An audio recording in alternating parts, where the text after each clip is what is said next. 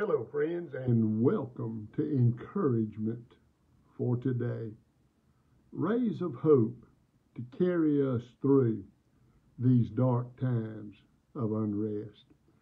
And, friend, there's no better place to find a ray of hope than in the truth and the light of God's holy and precious Word.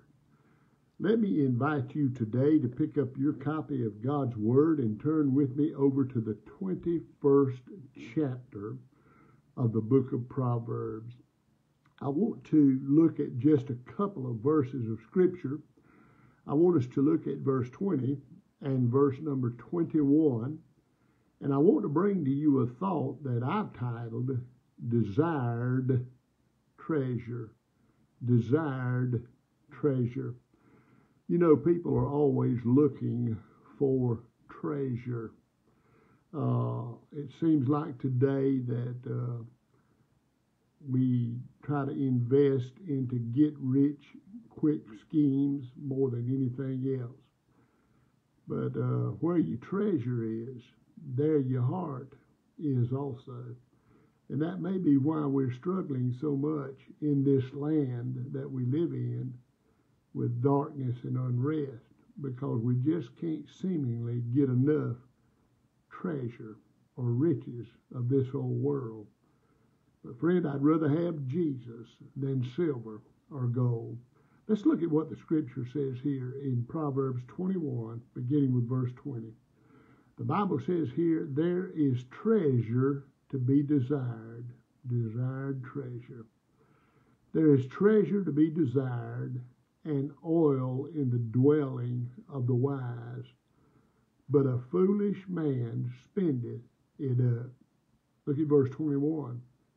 He that followeth after righteousness and mercy findeth life, righteousness, and honor. My friend, these are two of the most powerful verses to encourage you today that you'll ever find in the Word of God. There is treasure to be desired. Jesus said, Lay up for yourselves treasure in heaven, where the rust and the dust and the moth and the enemy cannot get in to corrupt and destroy. But too many of us are trying to lay up for ourselves treasure in this old world.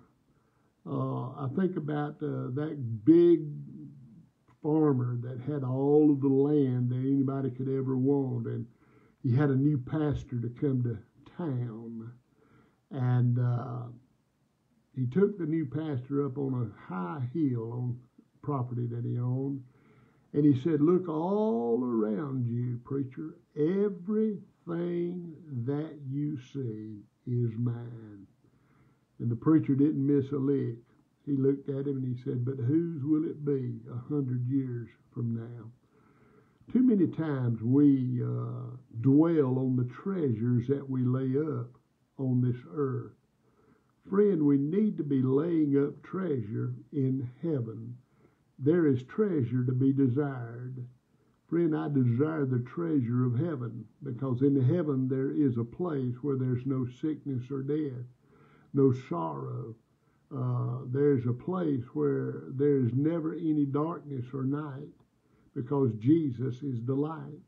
There's treasure to be desired, all in the dwelling of the wise, but a foolish man spendeth it up. Are you throwing away the treasure that God has offered you to have treasure in this whole world? The Bible says, He that followeth after righteousness and mercy findeth life if you really want to find out what true living is all about, follow righteousness and mercy, and you'll really begin to live a life that is righteous for the glory of God and honorable to God. So, friend, lay up for yourself treasure in heaven. I guarantee you that if you'll do that, you won't be dwelling in darkness you'll be able to see the marvelous light even in times of darkness and unrest. Jesus will shine forth. Think about this. Let it encourage you today. And may God bless and keep you. And let's pray together. Father, thank you so much for reminding us where we need to lay our treasures. Too many of us are uh, trying to lay treasures on tangible items in the here and now. But help us lay up for ourselves treasure in heaven where nothing can get in and destroy, but where all will be well. There'll be no sickness, there'll be no death, no sorrow, uh, and all will be joy in that fair land. God, help us lay treasures up there instead of trying to lay treasures up here. And help us live righteous and pure lives in your sight. In Jesus' name, amen. Well, friend, I pray you'll do just that and uh, be an encouragement to somebody today. There's somebody that's always watching your life. Your life could be the only Bible some will ever read.